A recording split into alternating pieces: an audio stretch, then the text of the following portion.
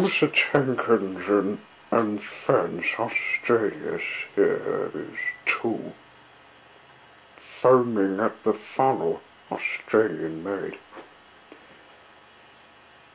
There is a derby beside Thomas's branch line with the Georgia Woods Railway where the lines divide to go either to the harbour or sloping main.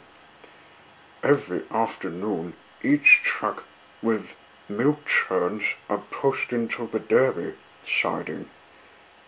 They are to be filled with milk and Percy takes them to Sloping Main. Thomas explained this to Wilbert.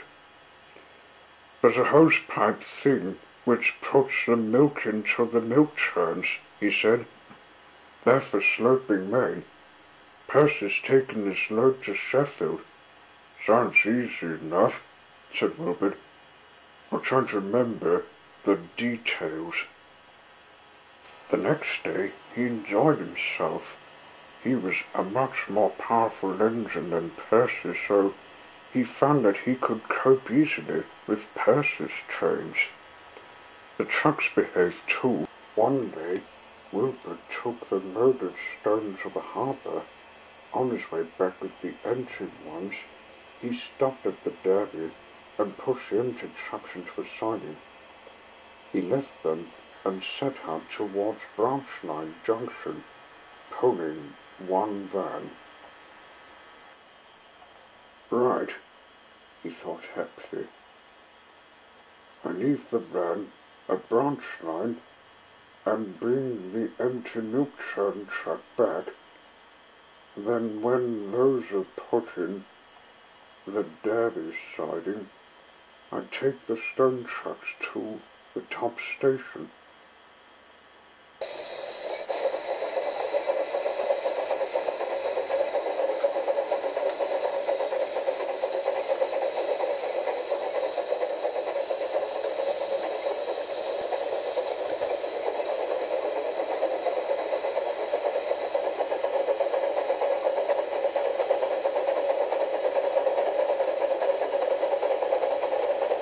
David James.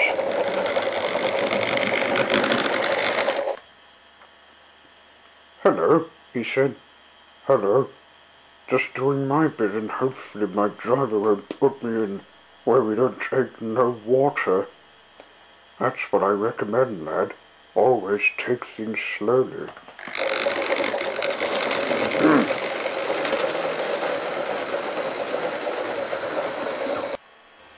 Wilbert continued. His journey to the Derby was easy, but his fireman was worried about the water.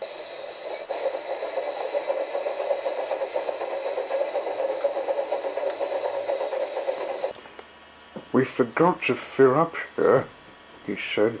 Never mind. We'll take some water from another station. Wilbert put one milk churn truck into the Derby siding.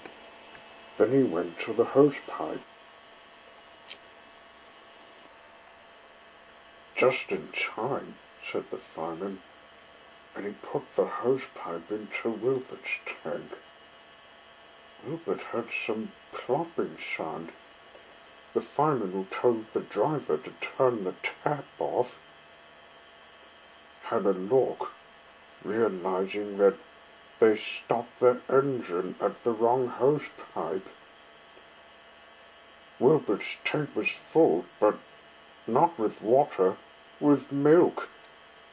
Yuck, said Wilbert. Not again, you two.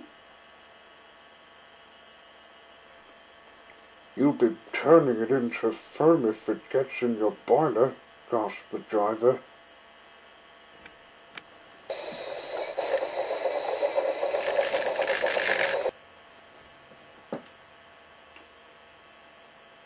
Quickly, they put out his fire.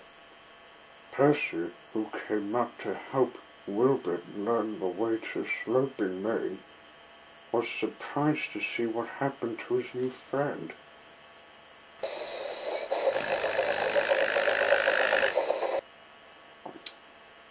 Thomas came and pulled Wilbert to the shed.